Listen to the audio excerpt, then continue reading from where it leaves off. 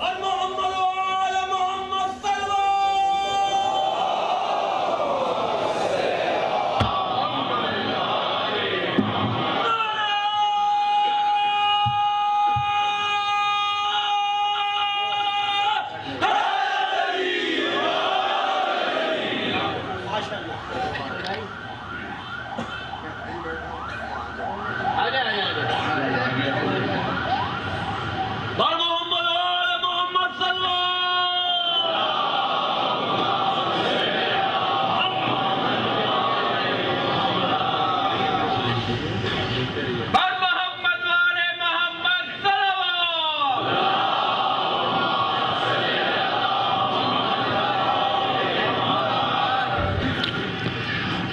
बसमीम तमाम तारीफ़ें अल्लाह के लिए।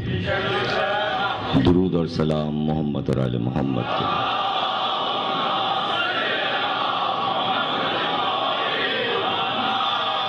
चौदह सौ तीस हिजरी कसर मुसैब में अलविदाई अशर की छठी तकरीर। आप हजरात समात फरमा रहे हैं, इमामत और अजदारी के मौजू पर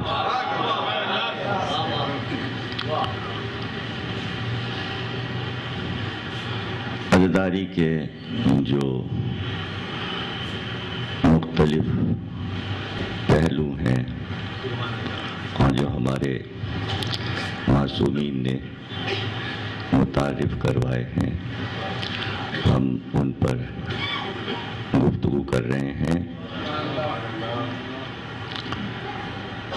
अदारी का एक अजीम पहलू उसकी रूहानियत है। रूहानियत एक ऐसी मावरा शय है जो हर अक्ल में समाती नहीं है। उसको समझना मुश्किल है। जिसका रिश्ता मादियत से गहरा होता है, वो रूहानियत को नहीं समझता। ये दो जंबे अलग अलग हैं। मादा परस्त कभी भी रूहानियत को तस्लीम नहीं करेगा। उसी तरह जो रूहानियत के लोग हैं, वो मादियत की कोई हकीकत नहीं समझते। और ये जंग अजल से जारी है। दरअसल, इंसान जिस तरह बनाया गया है और खल किया गया है तो देखने में तो वो मादी है, लेकिन उसके अंदर रूह है, जो उसको जगा रही है और सुला रही है और चला रही है। जो उसके दिमाग को और दिल को सोजो सांस अता कर रही है। न यकीन करता इंसान कि हमारे अंदर रूह है। अगर परवरदिगार एक दिन जिस्म से रूह को जुदा करके ये न बता देता कि ये अम्र रब्बी है। ये हमारा अम्र है। जब तक हमने चाहा, ये मौजूद रही तुम्हारे जिस्म। में मौत ने यकीन दिलाया कि कुछ न कुछ तो रूह है, वरना कहाँ चली जाती है। उसके बावजूद लोगों ने यकीन नहीं किया, मौत को देखते हैं, फिर भी अकड़ नहीं जाती। और ये भूले रहते हैं कि हमको भी आएगी। भूले रहते हैं। जब करीब आती है और वो नज़र आती है तो फिर जबान हिलाने की ताकत भी खत्म हो चुकी होती। है इसलिए कोई ये भी ना बता सका कि मौत जब करीब आई तो थी कैसी? दुल्हन के रूप में आई थी या काली माई के रूप में आई? थी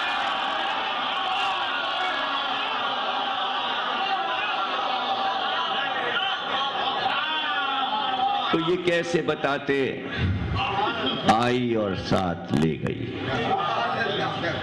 तो आप बयानात पढ़ लें। अल्लाह ने इसीलिए सरकश इंसानों के बयानात कुरान में महफूज किए हैं, ताकि इंसानों को यकीन तो आए कि नमरूद की अकड़ क्या थी, फिरौन की अकड़ क्या थी।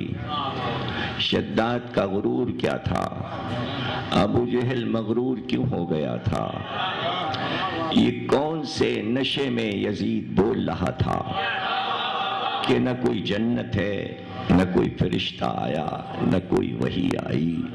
बनी हाशिम ने मुल्क माल से ठोंग रचाया था। क्यों बोल रहा था? उम्र साथ होगी, जन्नत होगी तो देखा जाएगा।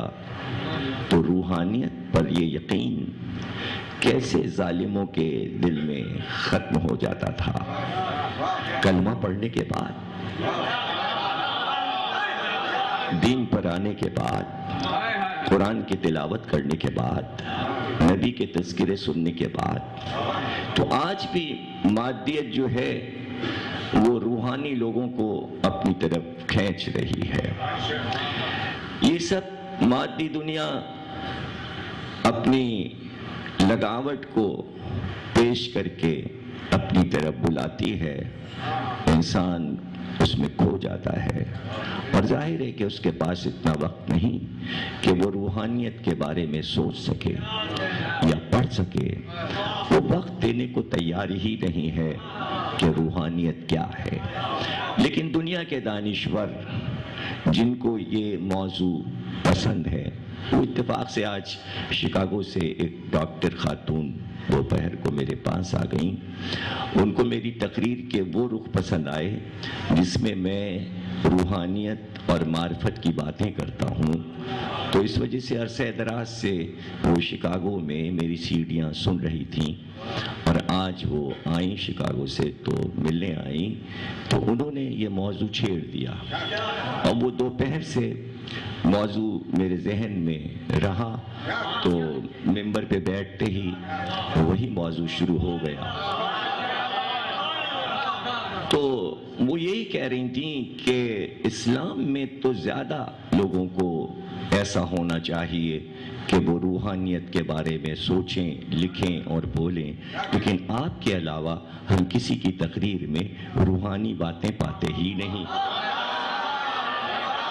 और अगर कहीं होती तो ज़ाहिर है कि फिर वो मेरी सीढ़ियाँ और मेरी मजलिसों के लिए और मेरी किताबों के लिए इतनी दूर से चल के क्यों आती तो उनको तलाश है, ज़ाहिर है कि इल्मी शख्सियत को तलाश होती है। तो मैंने उनको जो बताया तो मैंने कहा, मैं अपने सामीन को भी सुना दूँ। ज़ाहिर है कि एक ही क्यों सुने, सब सुने। तो डिफेंस में रहती हैं, डॉक्टर निखत उनका नाम है। और ईरान से उनका ताल्लुक है। तो उनको मैंने बताया कि नहीं, दुनिया के हर मुल्क में किसी भी कौम से ताल्लुक रखता हो दानिश्वर, अगर वो रूहानियत पर बैठ के सोचता है तो लिखता है।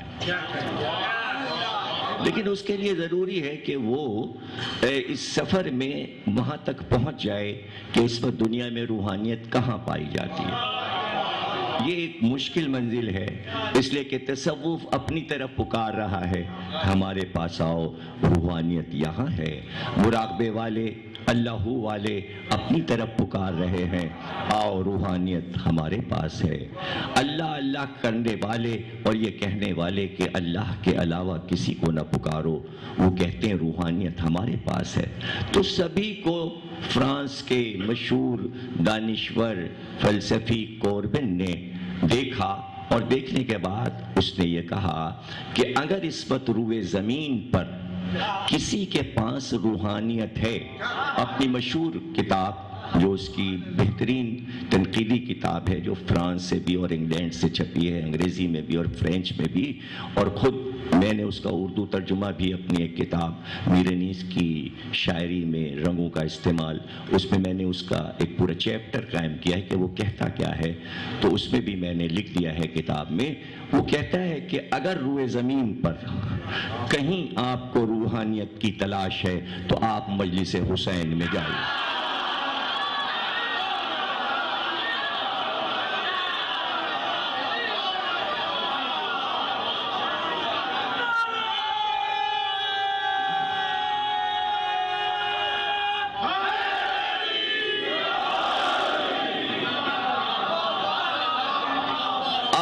वजह बताता है। अच्छा ये मौजू ऐसा है कि ये बड़े बड़े फ़लसफ़े के जो स्कॉलर्स होते हैं, वही बैठ के सुनते हैं, लेकिन मुझे इतना एतमाद है अपने सामीन पर कि इतना खुश्क मौजू, उन्होंने पहले ही जुमले से तकरीर को उठा के बताया कि कितना ही गाढ़ा इल्मी मसला क्यों ना हो, हम आपसे पीछे नहीं हैं, समझने में। तो सबसे उम्दा बात यह है, वो कहता है कि चूँकि इंसान मजमुआ है, जिस्म और रूह का। और रूह जो है, वो जिस्म के अंदर कैद है। हालाँकि आज़ाद है। लेकिन उसको हुक्म है कि तू इस पिंजरे में रहे। उसको हुक्म है कि जब तक हम ना कहें तो इस पिंजरे से परवास नहीं कर सकती है। रहना तुझको यही है। तो चूँकि मादा ज़मीन से उठा है और रूह जो है वो एक ऐसे आलम बाला की दुनिया से लाई गई है और भेजी गई है कि जो उसका पुराना वतन है तो वो ये लिखता है कि जिसका पुराना वतन होता है तो ज़िंदगी में कभी पुराने वतन की यादें नहीं जाती। कभी जागते में और कभी सोते में वो अपने पुराने वतन को याद करता रहता है और उसको भूल नहीं पाता। तो उसके ये ये कोई ऐसी बात नहीं है कि जिसकी दलील दी जाए। यहाँ पर भाई पुतन भी बैठे हैं, हम भी बैठे हैं, जाहिद नकवी साहब भी तशीफ फरमाए और हजरात भी हैं। यानी यकीन कीजिए कि ज़िंदगी की ज़्यादा उम्र मेरी कराची में गुजरी और वो कम है, यानी 19 बरस मैंने लखनऊ में गुजारे पैदा होने के बाद। लेकिन अब यहाँ ज़्यादा दिन हो गए। समझ रहे ना? आप यहाँ ज़्यादा दिन हो गए। लेकिन अजीब बात यह है कि जब भी ख्वाब देखते हैं तो कभी कराची को नहीं देखा। कराची में देखा। वही सड़कें, वही मकान, वही घर। जो भी ख्वाब में नज़र आता है, इतने बरस गुजरने के बाद तो ये ये रूह की कारस्तानी है, जिस्म की नहीं है, दिमाग और दिल की नहीं है। तो इसमें रूह की वफादारी का पता चलता है कि रूह का असल वतन जो है, वो आलम बाला है। अब वो वतन कैसा था उसका, ये तो रूह जानती है। तो ऐसा ही वतन उसका होगा कि उसको ये दुनिया अच्छी नहीं लगती। तो वो पिंजरे में फड़, अब ये वो कोरबिन लिख रहा है, मैं उसको वाजे करता जा रहा हूँ। कोरबिन कहता है, रूह जो है, उस पिंजरे में फड़फड़ाती है और वो इंसान को उदास करती है। जब रूह सोच रही होती है तो इंसान उदास होता है और वो सोच रही होती काश मैं कभी अपने वतन जा सकूँ। कभी मेरा रबता हो सके। और जहाँ रूह ने सोचना शुरू किया, इंसान उदास हो गया। इंसान उदास हो गया। और रूह के कुछ औकात हैं। ये अब यहाँ से इल्म नफ्सियात शुरू हो जाएगा। इस पर रईस समरूबी साहब मरूम ने, चूँकि वो नफ्सियात के आदमी थे तो उन्होंने बहुत कुछ लिखा है कि दिन भर इंसान मसरूफ रहता है, रात में सोता है। सबसे ज़्यादा परेशान कुन उसका जो वक्त होता है, वो सूरज डूबने का होता है। जब दोनों वक्त मिल रहे होते हैं तो अंदर से उलझन शुरू हो जाती है। दिन जा रहा होता है, रात आ रही होती है। अब वो घबराता है, कहाँ जाए, क्या करें? क्या जाए? तो कोई पार्क में चला जाता है, कोई तफरी करने, कोई कबाब खाने, कोई सड़क पर गाड़ी खड़ी की, बच्चों को ले यहाँ इधर, उधर उधर। अब ये घबराहट है, ये घबराहट है। दोनों वक्त जब मिलते हैं तो रूह घबराती है, उसे कोई वक्त याद आता है। वो परेशान होती है और वो जिस्म को भी परेशान करती है। वो बार बार निकल कर जाना चाहती है कि मैं अपने वतन जाऊँ। इसलिए कि उसको जाना मुश्किल नहीं है। उसका पहुँचना कोई हवाई जहाज़ नहीं चाहिए। वो तो लम्हों में वहाँ पहुँच जाएगी। लेकिन उसे हुक्म है कि जिसम मुकैद रहना है। जब तक हम हुक्म ना दें, तुझे जाना नहीं।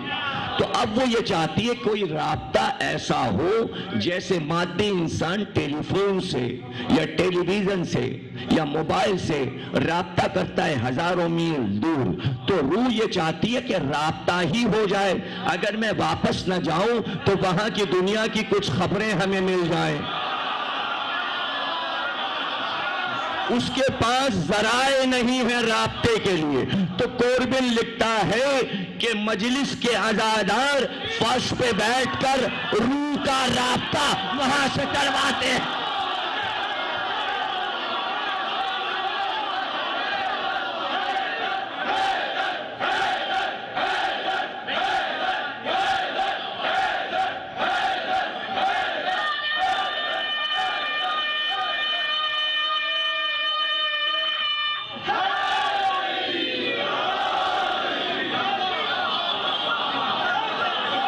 और फर्श पे बैठा। और जैसे ही उसने दुरूद पढ़ा, इसलिए कि दुरूद ऊपर को परवास करता है। दुरूद ने रूह का रबता आलम बाला से करवाया। उन हस्तियों का ज़िक्र शुरू हुआ जो उस दुनिया की सरताज हैं। अब रूह ने सब कुछ देखना शुरू किया और उसका जिस्म खुश हुआ। उसने जिस्म को खुश करके अब अपना इजहार किया। क्या क्या देखा? अली को देखा, हुसैन को देखा, मोहम्मद मुस्तफ़ा को देखा।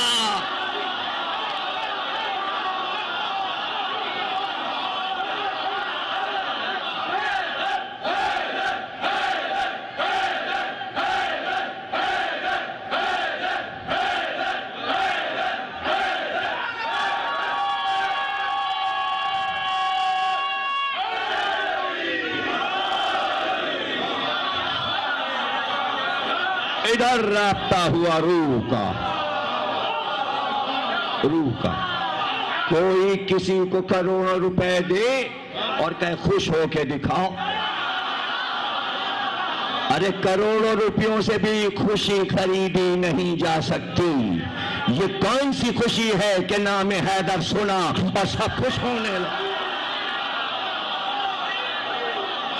ये कौन सी खुशी है? क्या इस खुशी की कोई कीमत है? इस खुशी की कोई कीमत नहीं। अगर कीमत होती तो लोग खरीद लेते। खरीद लेते। ये तो रूह का रिश्ता है। ये खरीदारी यहाँ नहीं हुई। आलम बाला में अलस्त रब कौन क्या मैं तुम्हारा रब हूँ? उस दिन बातचीत रूहों से हुई थी। जिसने वादा किया, उसने वफा किया। जिसने वफा किया, उसने सब कुछ पा लिया। जो बेवफा हुआ, उसके लिए जहन्नुम ने दहाना खोला। यानी कहाँ गए और काफले भटक कर किधर चले गए? और काफले बनाए किसने? काफले बनते कहाँ हैं? सब तो यहाँ आके मुंतशिर हो जाते हैं। कोई कहीं रूह पैदा हुई, कोई कहीं रूह पैदा हुई। कीमती जुमला दे रहा हूँ, कीमत आपके पास इस जुमले की नहीं है। लेकिन जिन लोगों ने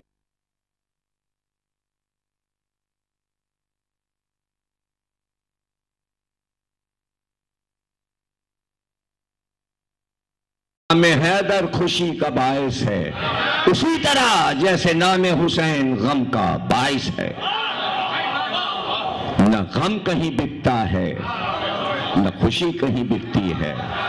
ये तो अजल में जब बटी थी ले, लेने वाले जिन्होंने उसको तबर्रुक समझा साथ रखा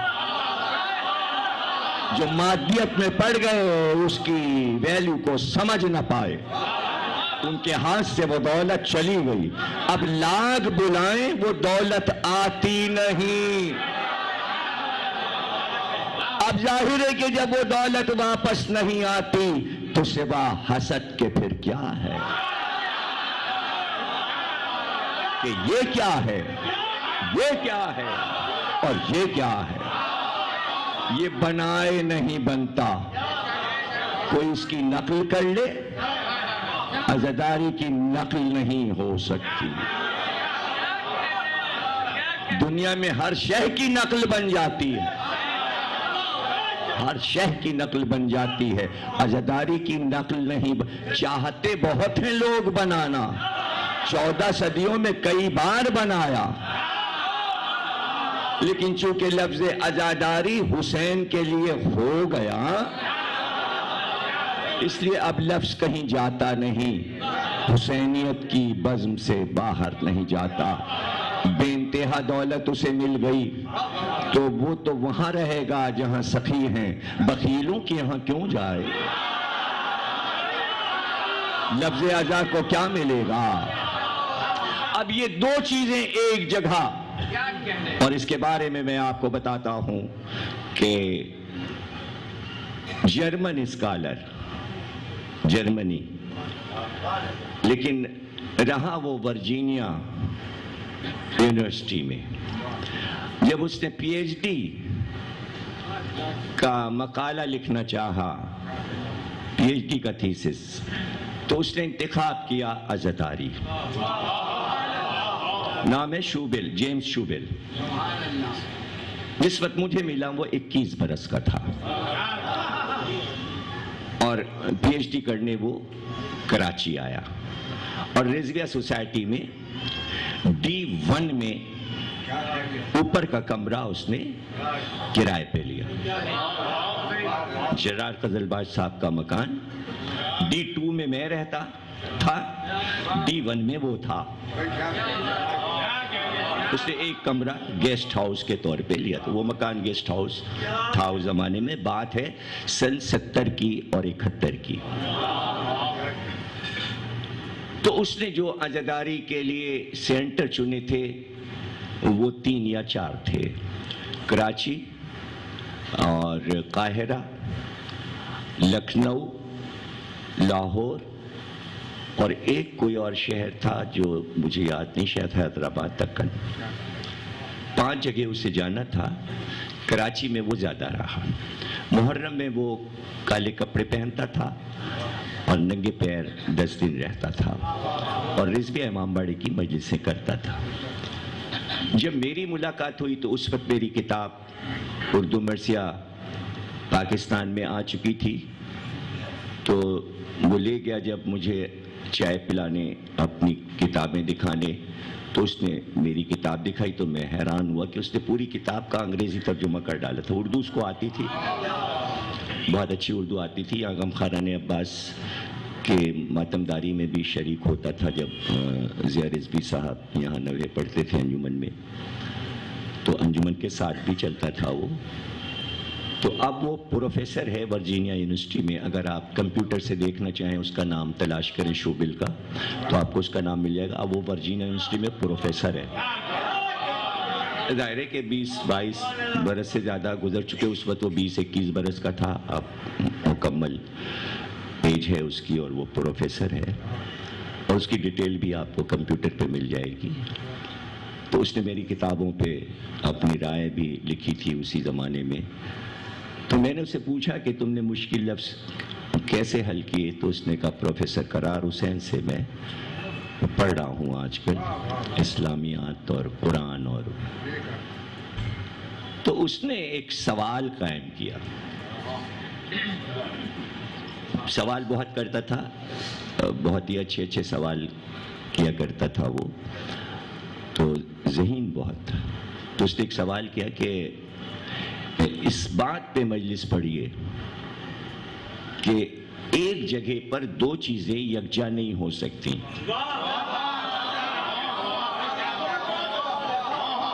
ये कैसे होता है कि आप आधे घंटे सब लोग हंस रहे होते हैं और अचानक जाकिर रुला देता है। तो ये खुशी और गम एक साथ, एक ही बज में, एक ही फर्श पर आधी मजलिस खुशी और आधी मजलिस गम, ये कैसे होता है? तो मैंने उसको यही समझाया कि इसी से समझ लो कि अगर ये मादियत होती तो बनावट होती। इन दोनों चीज़ों का ताल्लुक रूहानियत से है।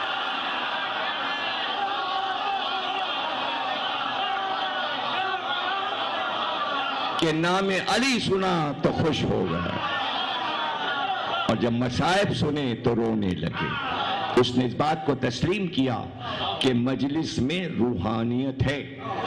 और वो तो शाह हस्त हुसैन रुबाई को भी कहता था, ये रूहानी रुबाई है।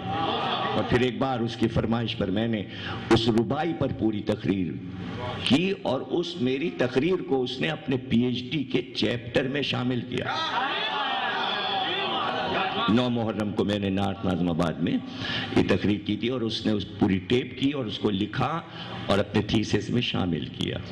मसला यहाँ पर यह है कि ये बातें जो हैं कि जो स्कॉलर्स करते हैं, जो इल्मी बातें हैं, वो इतनी ऊँची बातें हैं कि उनका समझना हर एक के बस की बात नहीं है।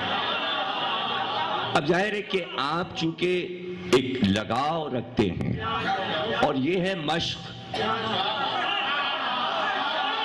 देखिए, आप आप किसी गधे गाड़े वाले को बुला के कही अमीर अनीस का मरसिया सुनो। तो कितना मुश्किल है। लेकिन जिस माहौल में वो मरसिया था तो वहाँ का नाई और धोबी भी मरसिया समझता था। इसलिए कि माहौल बन गया था। यहाँ के माहौल अलग अलग हैं। तो जो आपसे दूर हैं, उनकी समझ में ये बातें नहीं आएँगी।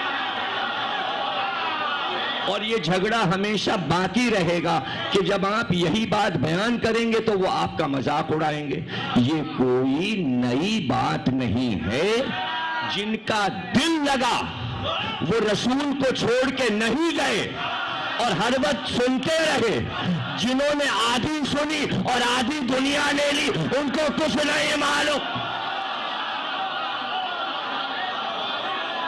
उन्हें कुछ पता नहीं। अब उसका नतीजा क्या हुआ? उसका नतीजा सुन लीजिए।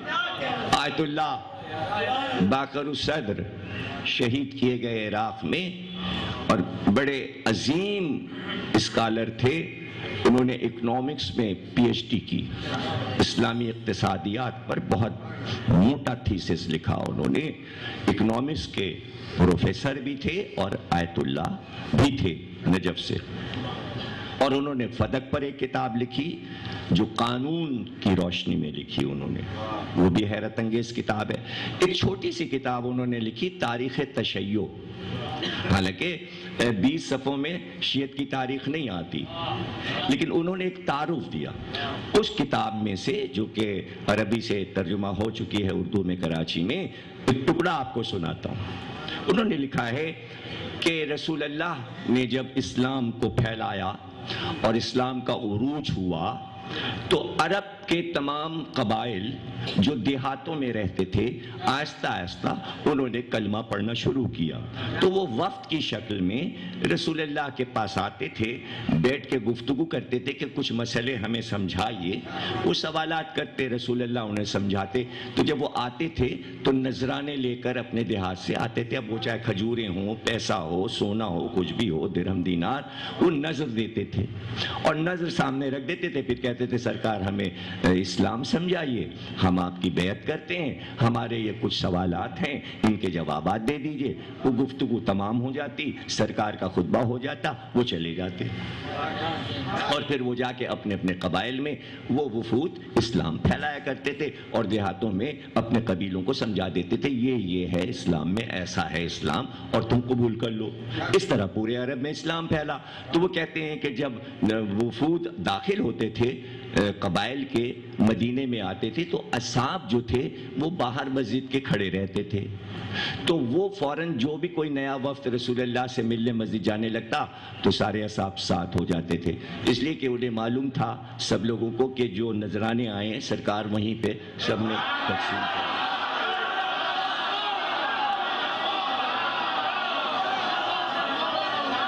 ये आयतुल्ला बाकर सदर लिख रहे हैं जिन्हें शहीद किया गया इराक में सदाम के दौर में। तो अजीब बात उन्होंने ये लिखी कि वफूद के साथ जाते तो थे असाब, जो मदीने में रहते थे। लेकिन वो अपना हिस्सा लेने के बाद उस वक्त बैठते थे, जब ये देखते थे कि उनके मतलब की बात है।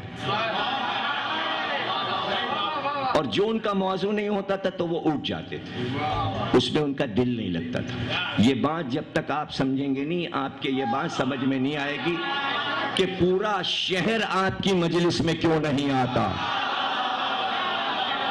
बातें तो ये सारी इल्मी है।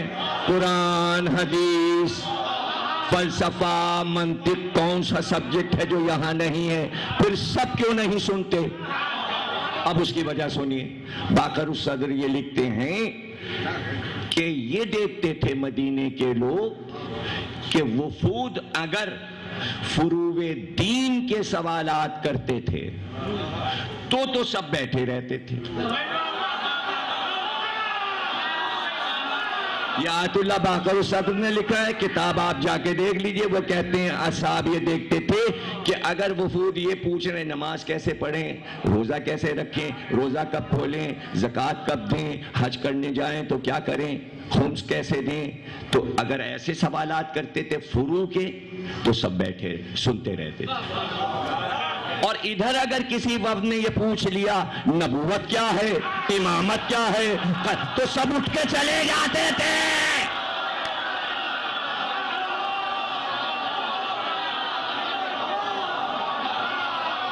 सब उठ के चले जाते थे।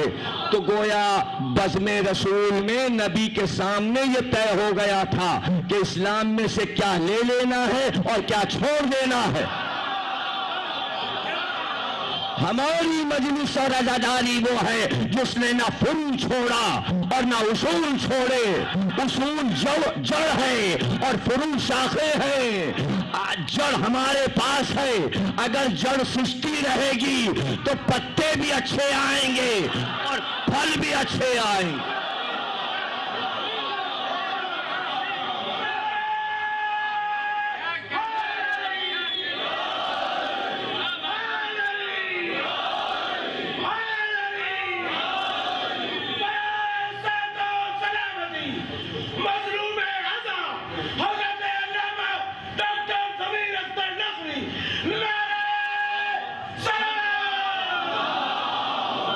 सलामत रहें, आप खुश रहें। आयतुल्ला बाकर सदर की इस बात की रोशनी में मैं आपको यह बता दूँ कि आज़ादारी उसूल दीन में है। उसूल दीन में इमामत है। इमामत में बारह इमाम हैं, हुसैन तीसरे इमाम हैं। उनकी शहादत की याद आज़ादारी है। तो दरख्त इस्लाम जो है, जो दीन का दरख्त है, उसकी जड़ में आज़ादारी है। आजादारी शाखों को हरा रखती है। एक शाख नमाज़ है, एक शाख रोजा है, एक शाख हज है, एक शाख जक़ात है, एक शाख जहाद है।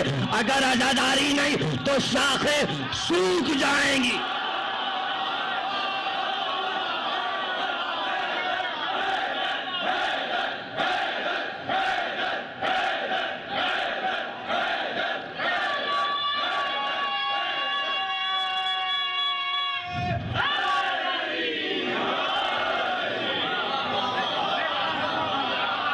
तो पानी तो आजादारी दे रही है, ये कह चुका ना जुमला।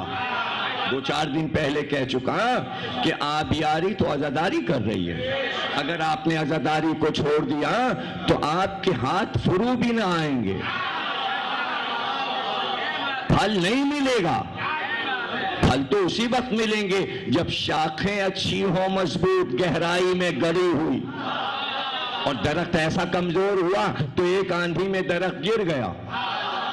दरख्त को मज़बूत बनाया आजादारी ने कि हिलाए ये दरख्त, हिलता नहीं। इसकी जड़ें जुम्बिश नहीं करती।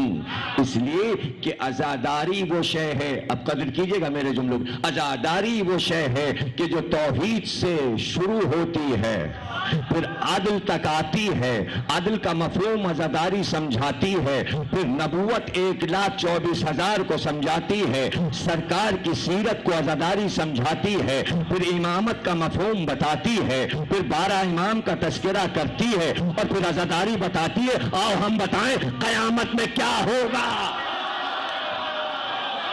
कोई बताने वाला नहीं है।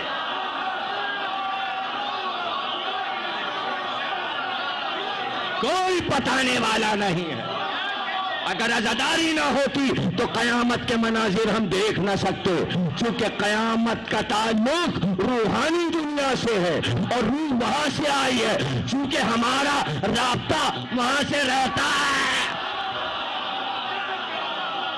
इसलिए हम बता सकते हैं, हर एक नहीं बता सकता, कौन कयामत के मनाजिर दिखाएगा। अरे कयामत के मनाजिर तो हम यहाँ दिखा देते हैं तो वो कयामत क्या है? तो लफ्जों में कयामत है। लफ्जों के अंबार किसके पास हैं? लफ्जों के अंबार किसके पास हैं? वो तो बैठा ये सोच रहा था कि पैसा खत्म हो गया, अब हम क्या करें? किससे कर्जा मांगे? और फिर शायर को कर्जा देता कौन है? लाख मांगे, लाख दोस्तियाँ हो। शायर के जराए आमदनी नहीं है, ये कहाँ से वापस करेगा? तो शायर को मालूम होता है, कर्जा नहीं मिलेगा। एक दोस्त से मांगा, दूसरे दोस्त से मांगा, तीसरे दोस्त उसने कहा, क्यों इधर उधर परेशान है? मदीने में एक सखी रहता है। उस सखी का नाम है इमाम जाफ़र सादिक। वहाँ चला जा। वो तुझे दे देंगे। का मैं उनके पास कैसे जाऊँ? मैं तो पुराना अली का दुश्मन हूँ। पुराना पापी है। मैं तो अली का दुश्मन हूँ। करे जा, वो बड़े सखी हैं। वो तो दुश्मनों को भी दे देते हैं, पानी पिला देते हैं। तू जा तो सही, वहाँ मिलेगा तुझे। तो मैं किस मुँह से जाऊँ? बात समझ में आई? दुनिया ये भी तो सोचे, किस मुँह से रसूल अल्लाह के सामने जाएगी? दुश्मनी करने को कर लो, लेकिन ये बता दो किस मुँह से जाओगे? किस मुँह से जाओगे? तो वो भी यही सोचने लगा, किस मुँह से जाऊँ? दोस्त ने मशवरा दिया कि भाई, वो खुश होते हैं। अपने अजदाद का ज़िक्र शायरी में सुनकर। ये सबको मालूम है। कि हमारे आइम्मा को, जो अली की मधा में शेर हों, जो हुसैन की मधा में शेर हों, हमारे आइम्मा को पसंद है। क्यों पसंद है? क्यों पसंद है? जब भी शायर आया, इधर मांगा, उधर मांगा, मस्जिद नबवी में, जिधर गया, अरे जा जा ना, हुसैन के दर पे जा। ये मशहूर वाक्य है, बहुत मशहूर वाक्य अल्लाह मजलिसी ने बिहारुल अनवार में लिखा। जा जा हुसैन के पास जा, कहा? इधर उधर, कोई नहीं अपना दरवाज़ा खोलेगा। पहुँच गया इमाम हुसैन के दर पे। और शेर क्या पढ़े? अब मैं क्या बताऊँ कि जिधर गया, यही आवाज़ आई, हुसैन सकी। हुसैन सखी और एक पूरा शहर जिसकी सखावत की गवाही दे, उससे बड़ा सखी कौन हो सकता है? ये ये शेर पढ़ता हुआ हुसैन के दरवाजे पे बैठ गया। इतना बड़ा सखी जिसकी गवाही हर गली, हर नमाजी, हर पड़ोसी दे रहा है। हुसैन सखी हुसैन सखी हुसैन सखी। तो अब मैं कहाँ जाऊँ? इस दर को छोड़कर। ये शेर पढ़ रहा है। उन्हीं काफियों में उसी बहर में हुसैन ने भी शेर पढ़े। दरवाजे पे आ गए, उसके शेरों का जवाब शेरों में दिया। और एक थैली दिरहम दीनार से भरी हुई हाथ बढ़ा के दे दिया। का मैं सामने नहीं आ रहा हूँ, ताकि तेरी शर्मिंदा आँखें ना देख सकूँ। ये शेर में हुसैन कह रहे हैं। और ये ले जाइए, तेरे हिस्से का है। और दूसरा शेर हुसैन ने कहा, भाई मेरे, अगर दुनिया मेरा हक न छीन लेती तो इससे कहीं ज़्यादा तुझे देता। तो अब पता चला, अगर फदक आले मोहम्मद को मिल जाता तो अब तक बट रहा होता। बट रहा होता। बट रहा होता जो था, वो भी सब दे दिया। तो इमाम हसन सलाम ने फरमाया, भाई हुसैन, जब भी शायर आता है तो उसको तुम बहुत अतियात देते हो। तो इमाम हुसैन सलाम ने, इमाम हसन से भाई, आपको तो मालूम है नाना की ये हदीस है कि तेरा वो माल बहुत अच्छा है जो तेरी इज़्ज़त की हिफाजत करे। कुछ नहीं समझे आप। इज़्ज़त और बेइज्जती शायर के हाथ में है। जिसका दुश्मन हो गया तो हो गया। जिसका दोस्त हो गया तो हो गया। अब ये तो उन शायरों से पूछिए कि किसके दोस्त है और किसके दुश्मन।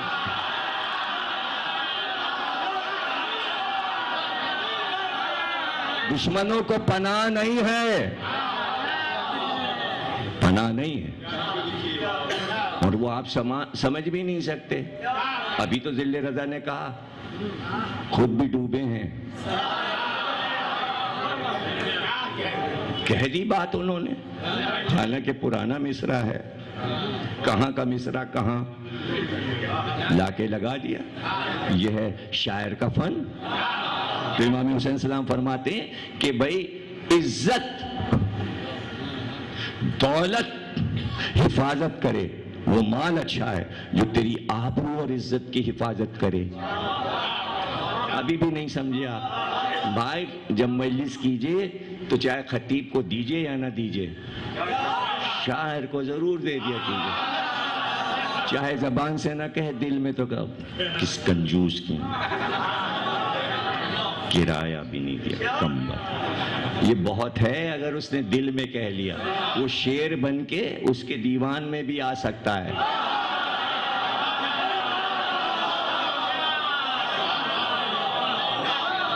भाई, देखिए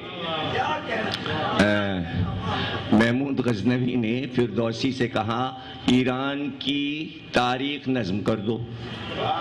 उसने नज़म कर दी, शाहनामा लिख दिया। दुनिया की इतनी बड़ी नज्म जिसे कहते हैं, फिरदौसी का शाहनामा लिख दिया। जब पेश किया तो जो वादा किया था, उससे दिया कम। और फिर उसी शाहनामे में आखिर में उसने जाके गजनबी की मनकसत जो बढ़ाई। अब पीछा नहीं छूट रहा। वो छपे जा रहा है, छपे जा रहा है, वो अशार भी छपे जा रहे हैं। कम क्यों दिया? कम क्यों दिया? ये कम का बड़ा मसला शायरों के साथ है। हारून रशीद बड़ा शौकीन था शायरी का। और वो जनाब शेर सुने, वो भी नाम देता था।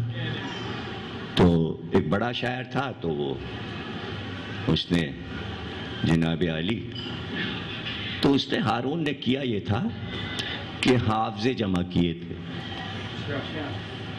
एक कनीज ऐसी थी, एक गुलाम ऐसा था।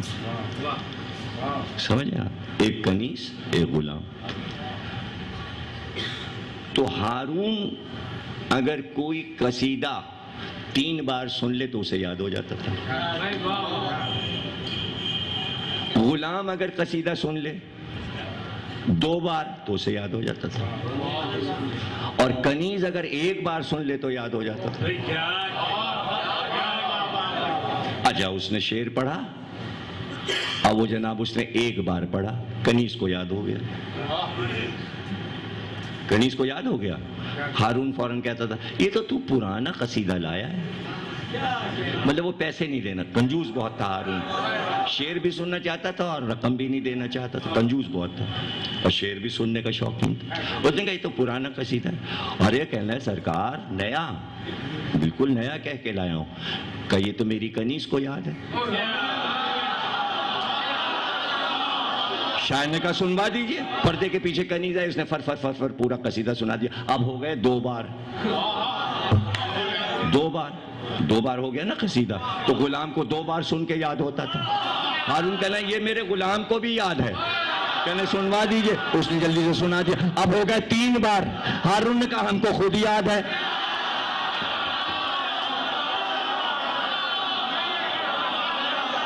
हमको खुद याद है। अब ये रोज का जना। और सारे शायर इतनी मेहनत के लाए शेर, पढ़े और मुँह लटकाए निकलते थे दरबार से। एक शायर बड़ा चंड था। वो कसीदा कह के लाया उसने कहा सरकार नया कसीदा का सुना दो कहा ना सरकार। पूरा कसीदा नहीं सुनाएँगे, एक शेर सुनाएँगे। पहले मतला का सुना दो। उसने मतला सुनाया और चुप खड़ा हो गया। हारून ने कहा, ये ये तो पुराना कसीदा है। कहा क्यों, कैसे? कही तो मेरी कनीस को याद है। कहा सरकार, मुझे यकीन नहीं आ रहा। सुनवाइए। पर्दे के पीछे से कनीस ने वो शेर पढ़ दिया। तो शायर ने कहा, सरकार, अब इससे कहिए, इसके बाद वाला शेर भी सुना दो।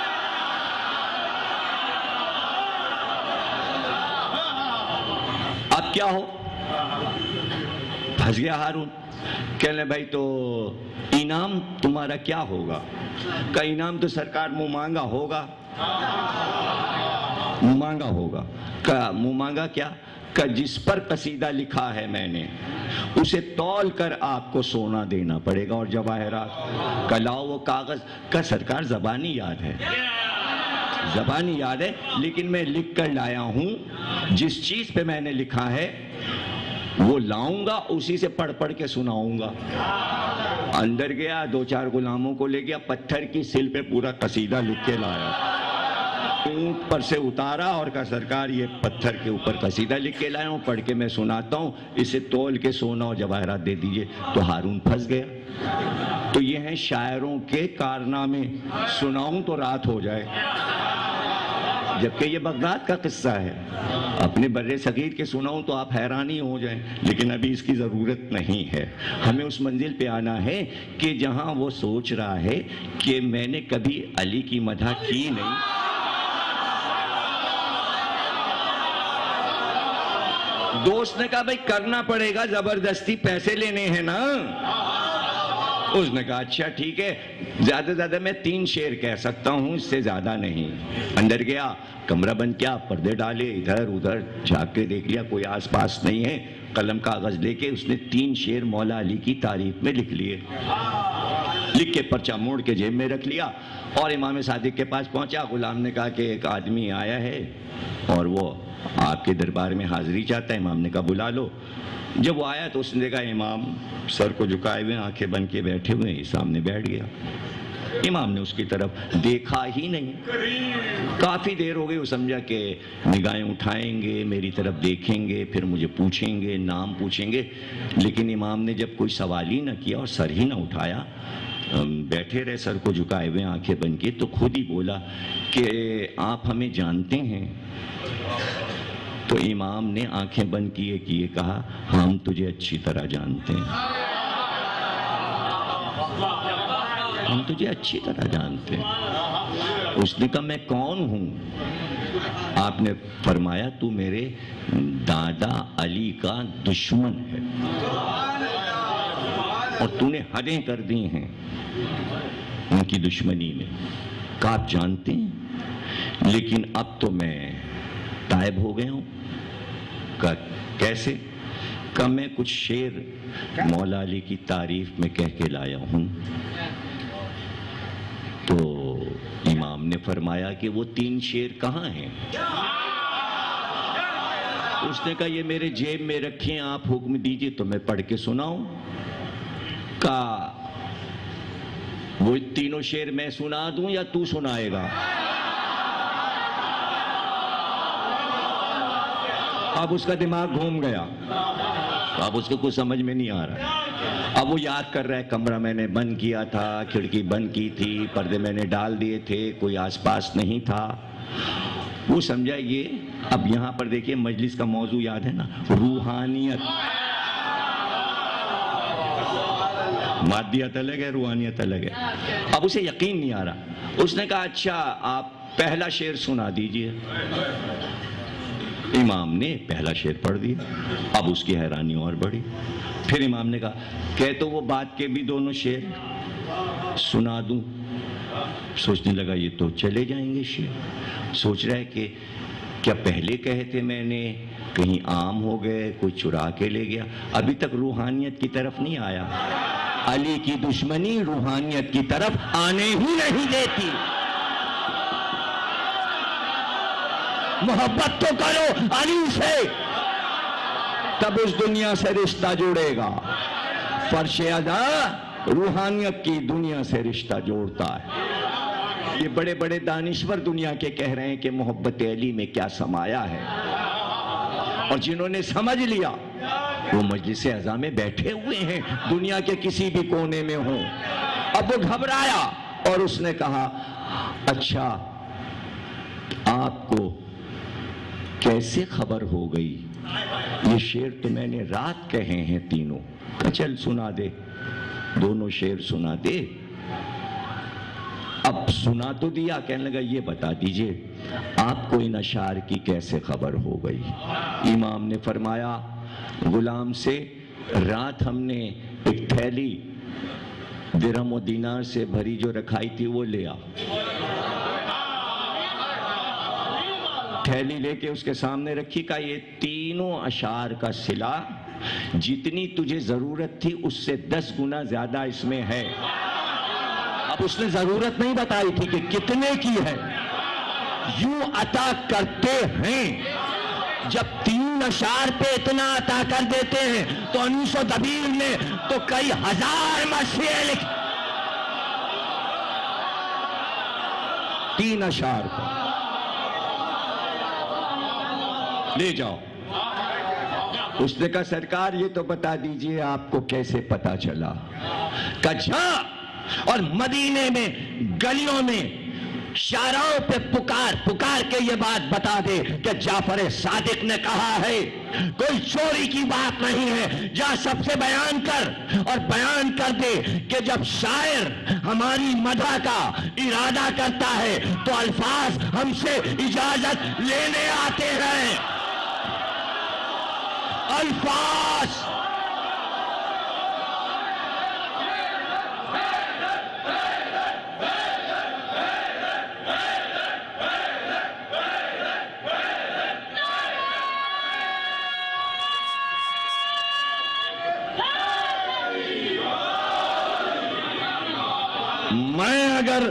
लफ्जों को इज्म ना दूँ तो लफ्ज शायर के पास नहीं जाते। अब ये जुमला तो वही लोग समझेंगे जिनका ताल्लुक अदब से है। सबके अशार उठा के पढ़ लो, कहाँ लफ्ज ज़्यादा है? याफ्ता लफ्ज है, और जहाँ इज्म नहीं मिला, उनकी शायरी को कोई मकाम ही ना मिला। कोई मकाम नहीं मिला। फीकी शायरी के नमूने भी देख लो।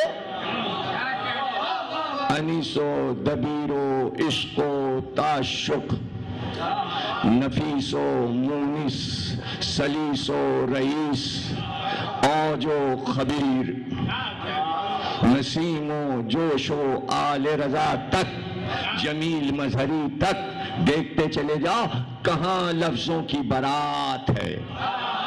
कहाँ इज्म मिल रहा है और लफ्ज आ रहे हैं? और कहाँ शायर बैठा सोच रहा है, लफ्ज क्या लाए?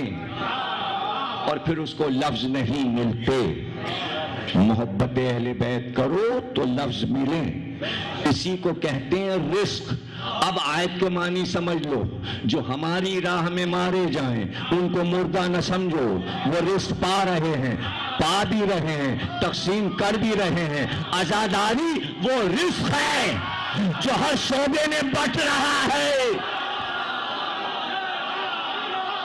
हर शोबे में बट रहा है।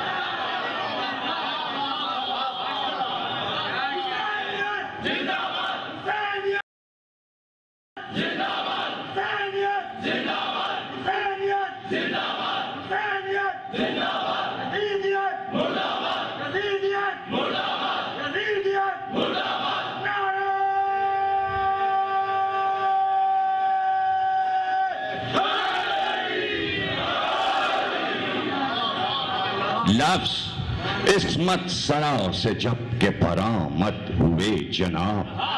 अब्बास लाए मरकब इब्ने अबू दुराब। हासिल जुदा जुदा किया एक एक ने सवाब। चूमे इना ने हाथ गिरी पाँव पर रकाब। मिर्ज़ा दबीर, जब जीन जुलजना पे साबिर मकी हुआ। गुल था कि आश अर्श पे मकी हुआ। जलवा फलक फलक था तजल्ली जमी जमी और मुझदा कदम कदम था तो सजदा जबी जबी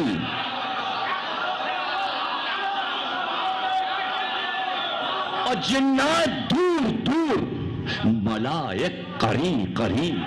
और खुर्शीद जर्रा जर्रा था, साया कहीं कहीं। बातिल को हक ने बिस्मिल्लाह तेरे गजब किया, ईमान बढ़ के कुफ से जजिया। ईमान बढ़ के कुफ्र से जजिया, तलब लफ्ज, बहाव, समंदर। लफ्ज हैं कि आते जाते हैं। लफ्ज वही दे सकते हैं। जुमला बहुत कीमती है हदीस का। लफ्ज वही दे सकते हैं जो लफ्ज के खालिक हैं। कलम। अल्लाह ने सबसे पहले कलम को खल किया। पूछा रावी ने अव्वल खलक अल्लाह नूरी। अल्लाह ने नूर को सबसे पहले खल किया। अव्वल मा खलक अल्लाहुल लौ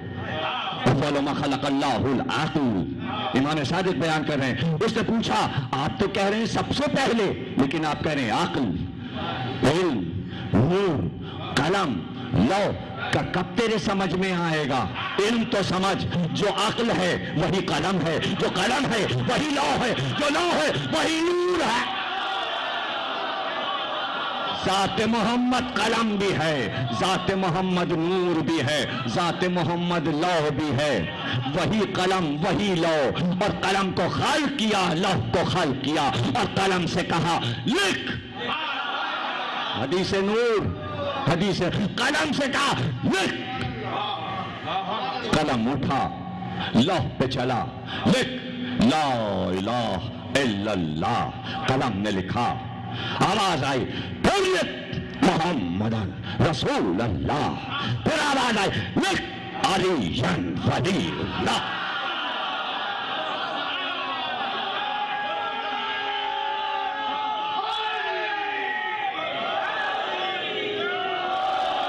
जब तक कलम पूरा कलमा नहीं लिखेगा, इल्म आएगा कैसे? इल्म आएगा कैसे? कलम कलम उनका है, वो मुजस्म कलम है। जहाँ चाहे कलम पैदा कर दें। काफला भी मस्जिद हन्नाना तक पहुँचा था। असीरों का काफला कटा हुआ हुसैन का सर नेजे से उतार कर पत्थर पे रखा गया। मैंने भी जियारत की है, जब कूफे से नजफ जाओ तो मस्जिद हन्नाना रास्ते में आती है। ये कभी गिरजा था। अब मस्जिद है, मस्जिद हन्नाना। राहिब रहता था यहाँ, पत्थर पे सर रखा गया, कटी हुई रगों का अक्स पत्थर पे बन गया। और वहीं पर दीवार जो थी, दैर की, वो पत्थर की थी। उसमें से खाद बरामद हुआ, उसमें कलम था, कलम ने दीवार पे लिखा जिन लोगों ने मोहम्मद के नवासे को कत्ल कर दिया अब मोहम्मद के सामने शिफात मांगने कैसे जाएँगे? सुनने चाहा के हाथ पकड़ लो कि वो कलम गायब हो गया। कलम अब तक शहादत हुसैन लिख रहा है। लेकिन एक जगह तो कलम की ज़रूरत ही न पड़ी। इधर गले का लहू चला और हुसैन का लहू लिखता चला ला ला, ला, ला, इल्लल्लाह। ज़मीन करबला पर। पूरा कलमा हुसैन के गले का लहू लिख रहा था। अल्लाह अल्लाह। विलायत अली किताब है और उसमें से रवायत पढ़ रहा हूँ, बाज़ार में मौजूद है। सर को काट कर उम्र साथ ने खेमे में रखा। और मन्नत मानी थी सबने कि नमाज़ जब पढ़ेंगे असर की, जब सर काट लेंगे। हुसैन तो सजदे आखिर कर चुके थे। अशकिया ने अब नमाज़ शुरू की, लेकिन जैसे ही तशहुद फेरा, अल्लाह और रसूल के नाम पे चाहा कि तशहुद खत्म हो, एक आवाज़ फजा में आई अशदान अमीर अल मोमिनीना, अली वलील्लाह। सबने नमाज़ खत्म की, एक दूसरे को देखने लगे, ये तशहुद में अली का नाम कहाँ से आया? अब जो देखा, सरे हुसैन पुकार रहा था, अली अन वलील्लाह, अली अन वलील्लाह। अब समझ में आया कि अली का नाम क्या है? इब्ने ज़ियाद के भरे दरबार में, जब पूछा इब्ने ज़ियाद ने, क्या नाम है तुम्हारा? आवाज़ आई, अली इब्नुल हुसैन। तो छड़ी से इशारा किया, का ये फिर कौन सा है, जिसका सर ये रखा है। कहा, ये मेरा भाई अली अकबर है। तुम्हारा नाम भी अली, इसका नाम भी अली। कहा, मेरे बाबा को नाम अली से बहुत मोहब्बत थी। बहुत मोहब्बत थी अपने तमाम बेटों का नाम। अली रखा, हर बेटे का नाम मेरे बाबा ने अली रखा। अल्लाह अल्लाह, गुफ्तगु थी और एक बार अपने जात ने कहा, देखा, अल्लाह ने तुम्हारे बाप के साथ क्या किया? खुदा ने तुम्हारे बाप को कत्ल कर दिया। सैयद सज्जाद ने कहा, तू ये चाहता है कि मैं अपने खुदा से लड़ूं? खुदा ने कत्ल नहीं किया। मेरे बाबा को लोगों ने कत्ल किया। तो खुदा की राह में कत्ल हुए। इब्न जाद कहता है तू मुझसे जबान लड़ाता है। ये कहकर छड़ी लेकर उठा और सैयद सज्जाद पर अल्लाह कर जो बेअदबी इस हराम जादे इब्न जाद ने की, पुश्तैनी पुश्तैनी लुत्फे हराम कोई हमदर्दी अपने जात से न रखना, वरना जहन्नुम में जाओगे। जहन्नुम में जाओगे। इसलिए कि वो बेअदबी की पुपी ने देखा कि हुक्म कत्ल किया। दौड़ कर सैयद सज्जाद से जैनब निपट गई। एक बार हुक्म दिया जाद ने कि पुपी भतीजे दोनों का कत्ल कर दो। कि ने दौड़कर जनाब जैनब का इशार किया। इब्न जाद ने कहा, ताजिया ने मारकर इस औरत को अलग करो। अबसियों ने तलवारें खींची और गुलाम अबसी कहने लगे, इब्न जाद, अगर हमारी कौम की औरत पर तलवार उठी तो हम लहू बहा देंगे। एक बार जैनब ने नजब का रुख किया का बाबा फिजा को बचाने वाले इतने, अरे नबी के नवासी को बचाने वाला मातब हुसैन मातब हुसैन।